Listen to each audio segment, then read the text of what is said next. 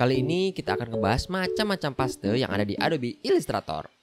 Bukan dong, kali itu paste dong, makanan. Bukan ini dong bentuknya. Ada CTRL plus V, ada yang seperti kita kenal, kemudian ada CTRL plus B dan CTRL plus F dan dua jenis paste lainnya. Kira-kira apa ya bedanya? Dibilangin bukan ini gambarnya. Bumper-bumper.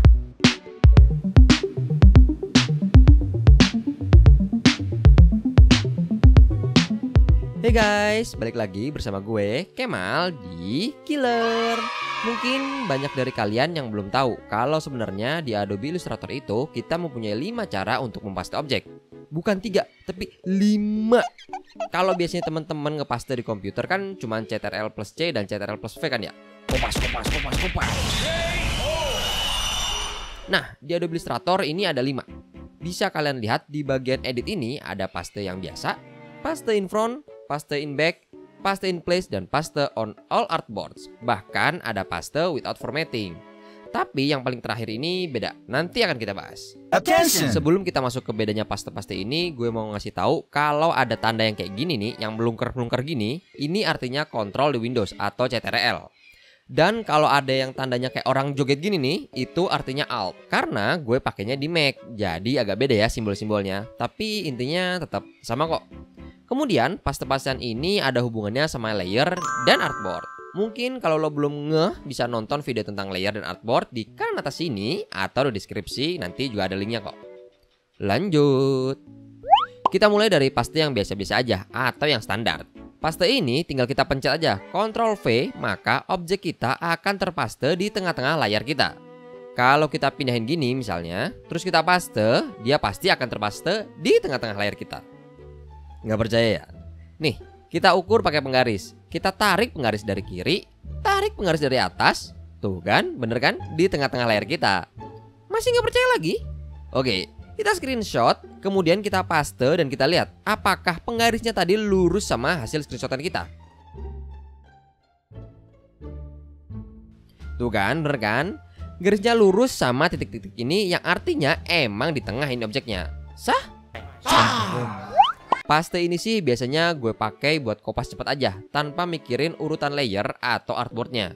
Oh iya, ngobrol-ngobrol tentang urutan layer, jenis paste ini urutan layernya selalu di paling atas dari seluruh objek. Nih, kalau kita mau ke paste objek ini, kemudian kita seleksi nih objek ini yang agak bawah, kemudian kita paste, tuh kan, selalu di paling atas kan? Kita pilih objek lain yang agak atas, kemudian kita paste lagi. Tuh kan, paling atas kan?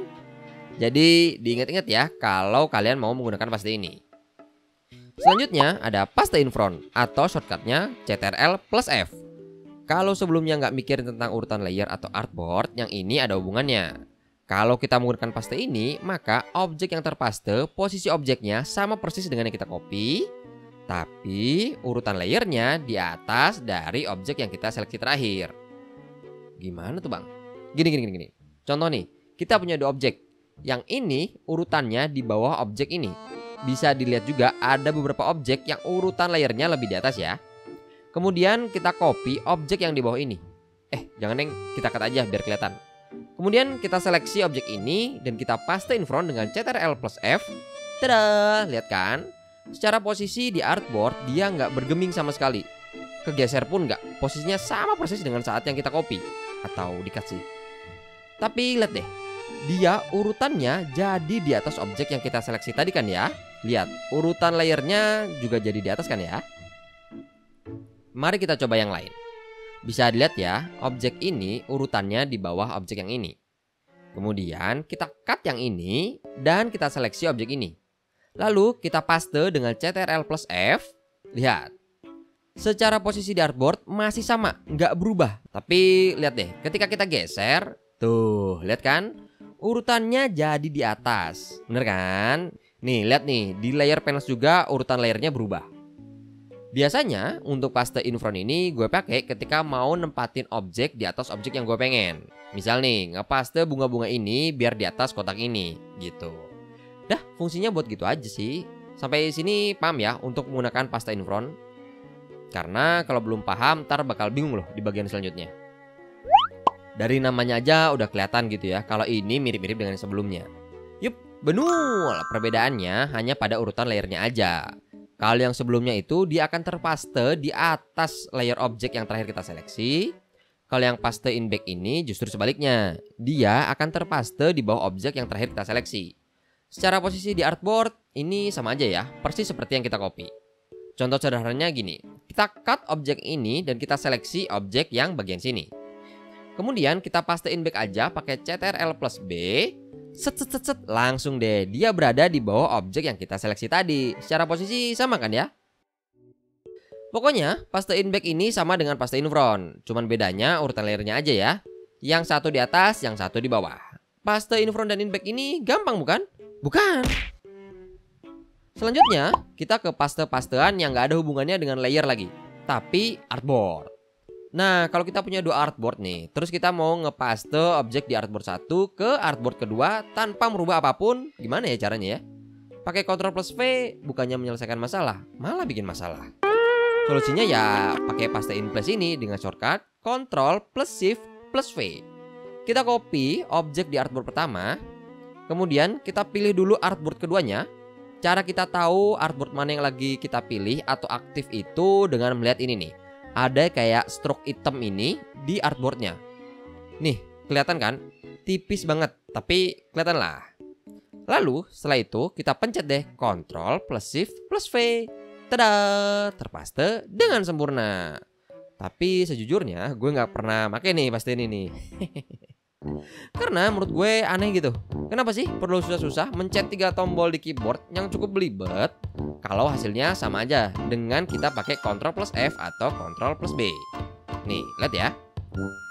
Ini hasil menggunakan Ctrl plus Shift plus V atau paste in place. Kalau yang ini pakai Ctrl plus F atau Ctrl plus B. Kira-kira lo bisa ngeliat gak bedanya di mana? Enggak kan? Itu dia. Tapi kalau teman-teman ada yang ngerti ini fungsinya buat apa atau sering make, boleh dong ketik di kolom komentar biar gue juga tahu ini fungsi hakikinya itu buat apa sih? Yang terakhir di perpastean objek adalah paste on all artboards. Dari namanya aja udah tahu kan ini buat apa? Tempel di semua artboard. Jadi guys, fungsi ini juga baru gue tahu pas bikin tutorial ini. Lah, gimana sih ini channel?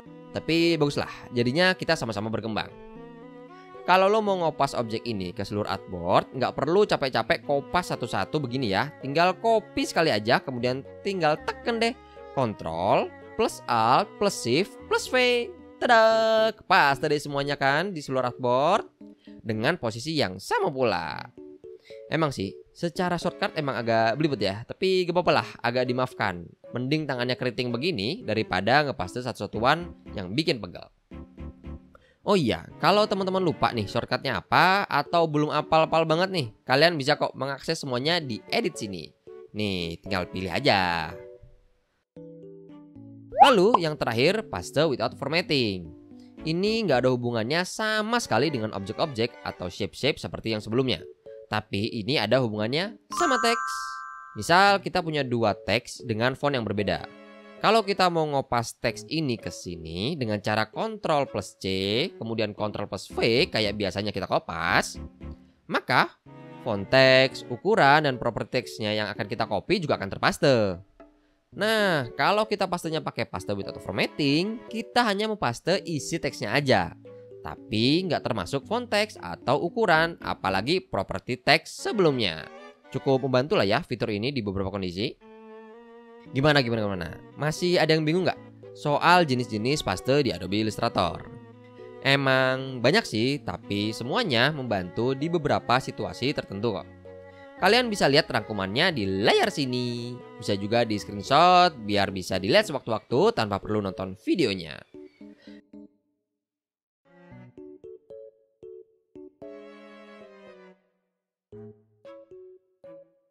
Kalau kalian suka jenis video seperti ini, klik like ya, jangan lupa. Semoga video ini bermanfaat dan saya Kemal the Killer. Sampai jumpa.